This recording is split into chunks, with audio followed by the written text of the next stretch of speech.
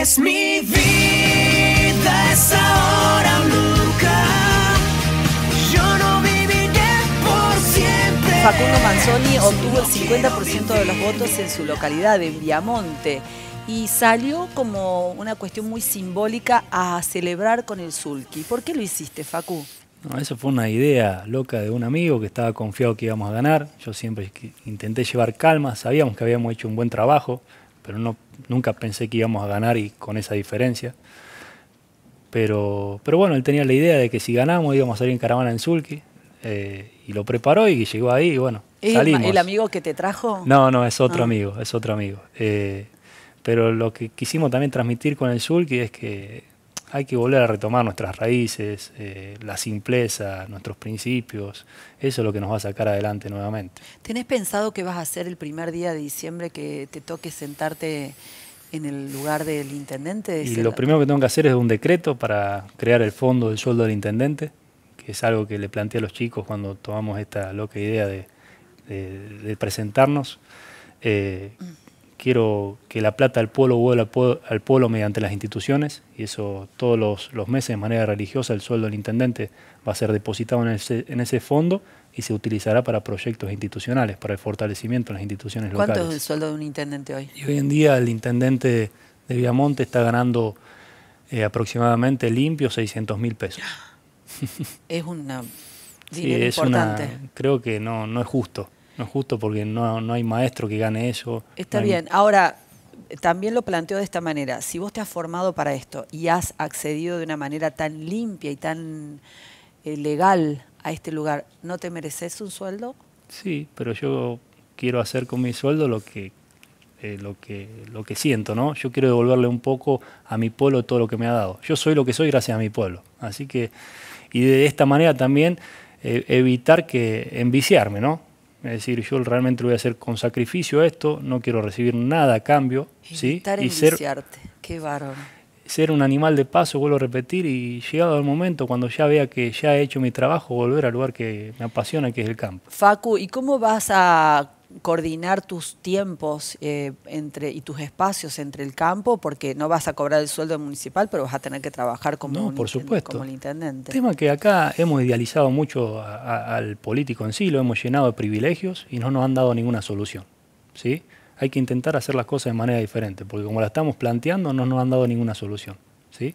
Así que voy a tener cuatro años para intentar hacerlo, demostrarle a la población que es factible, es posible, y después, luego de cuatro años, que el, el pueblo vuelva a elegir. ¿Qué te, ¿Quiénes te votaron? Bueno, te votaron todos, pero digo, eh, yo veía a todos, había, había un señor que sale en el TikTok que dice, vamos carajo, Facu, vamos carajo. Un señor que tiene su edad, ¿no? Y que ve la renovación de, con buena cara. Sí, eh, en Viamonte pasó algo muy particular que votó el 82% de la población, cosa que la media provincial fue del 68%. Sí. Es decir, mucha gente grande que hacía años no iba a votar fue y se expresó en el colegio porque ellos tienen otra visión de pueblo, de lo que era Viamonte hace unos años atrás y de lo que es ahora, en el estado de decadencia que estamos habitando. Y creo que el mensaje que transmitimos, las ganas... Fue el la- mismo día de la votación para gobernador. Así es. Eh, Claro, y mira vos, ¿no? ¿Por qué, qué, atractivo el, el resultado? Porque fue mucho más eh, a votar a tu pueblo que en el resto de la provincia sí. y además ganó justamente el palo político opositor, Opositor. a, a Yarlora. Sí, sí, es así. Eh, en pueblos vecinos votó el 50%, el 48% del electorado, en Viamonte el 82%. Eso es lo llamativo, que fue una elección histórica porque somos 1.800 habitantes, empadronados hay 1.650 y votaron casi increíble. 1.400 personas. Cuando- Todos iban, los abuelos, los chicos. los- Claro. Cuando una, una elección eh, normal en Viamonte son de 1.100, 1.150 electores, acá hubo 1.400. ¿Qué van Una a locura. hacer? Por ejemplo, con la laguna, con el tema, no, no tienen balanza de pesaje de, de camiones, no tenemos ¿no? nada. Está totalmente eh, devastado el pueblo. Eh, tenía un, era un pueblo pujante, con cinco plantas de acopio activa, hoy solamente queda una. Pero No que la fundieron. Sí, eh, el tema es que la visión de pueblo que le hemos dado a Viamonte estas últimas décadas no ha sido la correcta. Un pueblo que queda, que se queda atrás Está con los años. estancado, está estancado, no le estamos dando las posibilidades necesarias a los chicos para que vuelvan y se desarrollen en el pueblo. ¿sí? Eh, hay mucho por hacer. El tema de la laguna, tenemos una laguna hermosa, bueno, tu Van padre la conoce, lados, sí, mi 1900 hectáreas, espectacular, y no la estamos sabiendo explotar. Es cuestión de gestionar una contención de agua que mantenga un nivel de agua todo el año, sembrarle pejerrey, eh, e invertir en infraestructura, en baños, en, en un localcito, en un hospedaje, y que la gente realmente vaya y disfrute el día. Hoy es una, una osadía ir ahí. Sí, tremendo. Eh, cosas, cosas básicas que se pueden hacer. Es cuestión de gestión, es cuestión de visión de pueblo, es cuestión de, de- de lógica. ¿Y cómo vas a formar tu gabinete, si se puede decir de alguna manera? Nos- nosotros tenemos eh, como eje de, de gestión cuatro puntos para tratarlo de manera simultánea desde el primer día. Uno es educación, que hemos, eh, vamos a crear un, un gabinete educa- educativo municipal, ¿sí? para hacer una, una- un seguimiento, una contención y tratamiento, si fuese necesario, a los alumnos desde el nivel inicial hasta el nivel secundario, para evitar la deserción educativa. En materia de salud, eh, tenemos que eh, resetear todo lo que existe, porque lo que hay está mal, ¿sí? Tenemos que volver a revalorizar nuestro hospital municipal, que hoy en día está en una decadencia total. En materia de trabajo, tenemos que fomentar el trabajo genuino. Hoy el municipio se ha transformado en un aguantadero, en, un- en una bolsa de trabajo y no está bien porque se aprovecha el empleado municipal. Como te decía, le pagamos con un bono, ¿sí? Eso no está bien. Claro, entonces como se sienten ninguneados, no trabajan. Es así, es decir, No podés exigir si no pagas. es, es así. Eh, no estás en, en- en posición de exigirle nada. Hoy como está planteado el tema del, del trabajo municipal, es muy, muy, eh, muy precario. ¿sí? Se aprovechan del empleado municipal. Y eso hay que cambiarlo. Vamos a apostar al trabajo genuino, al trabajo privado. ¿Cómo? Y bueno, invirtiendo en la laguna, haciendo una balanza pública, intentando fomentar a que la única planta que existe hoy en Viamonte, que es una planta balanceada, una aceitera y un acopio, se, se desarrolle mucho más para dar mano, mano de obra genuina. Facu, ¿a quién vas a poner de tus amigos y de tus familiares en, el, en la municipalidad? A ninguno. Y si quieren venir, que vengan a trabajar, pero adonoren como lo voy a hacer yo. Me encanta. Es decir, eh, eso está mal, es poco ético, es poco ético. Y estoy hablando que tengo una planta de, de empleados muy grande, no puedo poner más gente de la que hay. Tengo que reubicar lo que hay y después veremos. ¿Cómo le fuiste y le dijiste a tus padres que habías ganado? Mira, la realidad es que mis viejos se fueron de viaje 30 días, 30 días antes del cierre de la lista, me preguntó qué iba a hacer, le dije que no quería saber nada.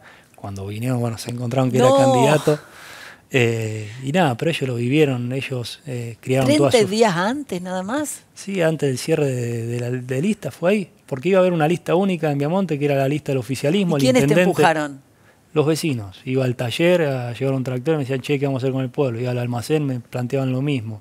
Y así, es decir, llega un momento en que uno Tu amigo anteojito tiene cara de Picasso. Estuvo ahí todo el tiempo diciéndote. Sí. no quería saber nada igual que yo. Él, Ah, pero ¿no? bueno, no, porque es difícil, es decir, te lleva mucho tiempo. Yo le estoy destinando los años más productivos de mi vida a esto, porque tengo 30 años. ¿Tenés familia? No, soy soltero. ¿Tenés novia? No, por cuatro años estoy casado por, con el municipio. No, pero Facu. No, no, no, por Mira ahora vos, no puedo. ¿no? Qué lindo, qué lindo ejemplo. Y contame, cuando, cuando ganaste, perdón, te, te corté, cuando ganaste esa noche, ¿cómo estaban tus padres con vos? Sí, estaban ahí. Y bueno, un, es decir, muchas emociones, emociones eh, encontradas, ¿no? Porque ellos criaron a toda su familia ahí y ven cómo está el pueblo y saben que es necesario un cambio, ¿sí? Eh, y saben que soy un chico comprometido, responsable, serio. Estudiaste vos, ¿no? Cursé abogacía, eh, me quedan cinco materias para terminarla, pero lo hice por pasatiempo, es decir, me Pero hubiese- sabés. Me hubiese encantado No estudiar te van a, no te van a No, joder así no. nomás. Pero eh, el tema, vuelvo a repetir, hemos idealizado mucho a la política y la política es simple. Nosotros hacemos política de que nacemos. Nada más que la han etiquetado como un lugar miserable y corrupto para que la gente no se involucre.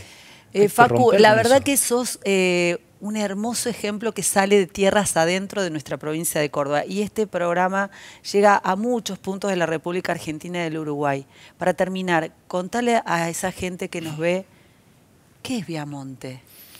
Viamonte para mí lo es todo. eh, ha sido mm, la escuela en la que me forjaron esos principios y valores que te detallé anteriormente, el valor a la, a la dedicación, al esfuerzo, a el valor a la simpleza, a la meritocracia, al trabajo, a la palabra empeñada.